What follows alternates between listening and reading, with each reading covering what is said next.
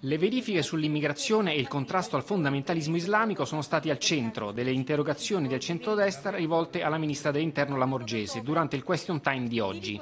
Un sistema di monitoraggio che si basa su tre pilastri fondamentali, ha spiegato la ministra analisi dell'intelligence, il controllo del territorio e la cooperazione internazionale tra gli organi investigativi. Attività che ha portato dal 2015 ad oggi a 504 espulsioni di soggetti ritenuti pericolosi, di cui 46 nel 2020. Ogni migrante che arriva nel nostro paese, ha ribadito la Morgese, viene sottoposto a procedure di identificazione e fotosegnalamento per poi essere inserito in tutte le banche dati nazionali ed europee. L'app Immuni e i test antigenici invece nelle interrogazioni della maggioranza al Ministro della Salute Speranza.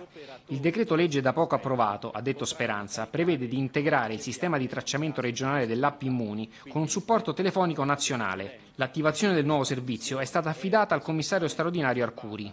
Per quanto riguarda l'individuazione dei positivi, i medici di medicina generale e i pediatri di libera scelta potranno effettuare test antigenici, quando però sarà garantita loro la possibilità di operare in piena sicurezza.